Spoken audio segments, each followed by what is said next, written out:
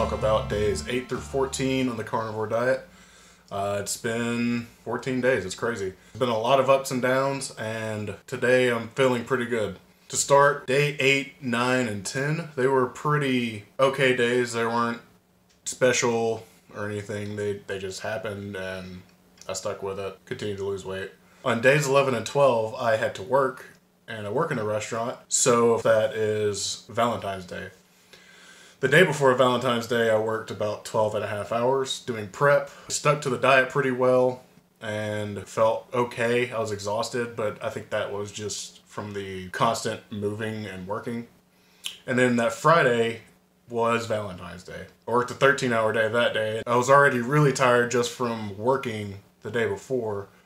So this was just even more accentuated. I uh, remember waking up and just not wanting to move feet were dead already. None of this is chalked up to the carnivore diet, but it leads into it. That day I had some bacon and some ribeye end pieces that were left over at the restaurant. And I noticed it hit me weird. I, I felt kind of sick directly after eating it, but I kind of ignored it and just just played it off and just kept going. Uh, finally took a break around three o'clock and felt pretty bad.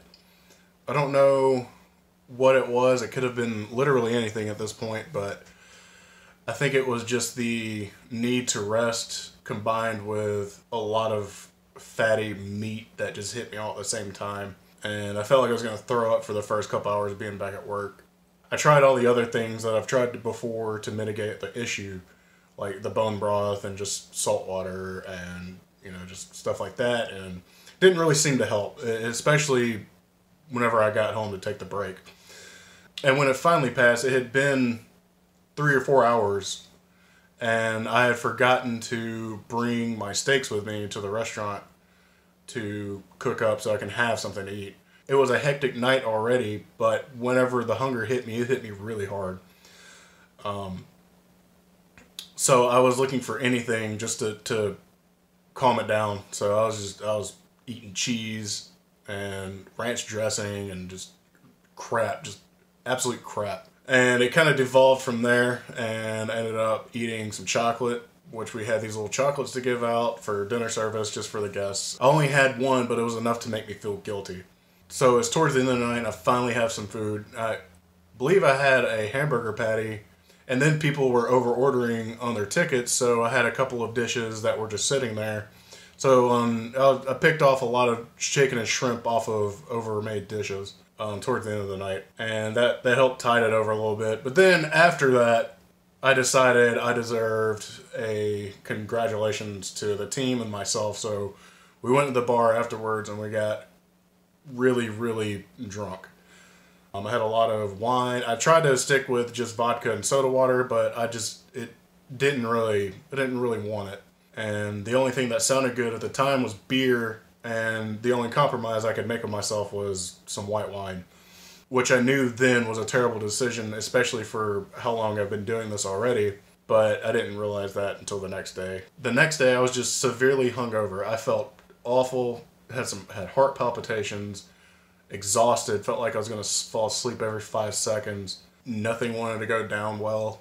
I ate, but nothing was appealing. I need, I knew I needed something on my stomach, otherwise I probably would have just thrown up water all day. I got electrolytes first thing in the morning. I drank a little uh, bone broth and eventually had my first meal, which was like pork skins. And throughout the whole day, I didn't steer outside of the diet at all. I just wasn't proud of it because a lot of the things were like snacky type foods like pork skins and I had a diet soda which I haven't really had I've only had one diet soda within the past 12 days at this point and it was that one. And it was pretty gross, but I needed something to comfort me. But as far as that day went, it just felt like a waste, and I felt guilty most of the day, which is a problem in and of itself, but that's just how it was. I, I, I can't, I couldn't control it that day, but the next day, on Sunday, I was able to calm down, just look forward and keep going. So Sunday was pretty solid day. I ate normally. I had steak and burger patties and all the stuff I've been eating for the past two weeks. But after Friday night, I just need to be more aware of how I congratulate myself, or at least the severity at which I do that. Anyways, the the second seven days were they were fine. Like I said, I had ups and downs the whole time, but I think that's going to be true through this entire 30 days. So learned a lot of lessons, and I hope you get something out of this. If you like this video, please give me a like, subscribe to the channel. I'll be on Instagram as usual, and see y'all in the next one.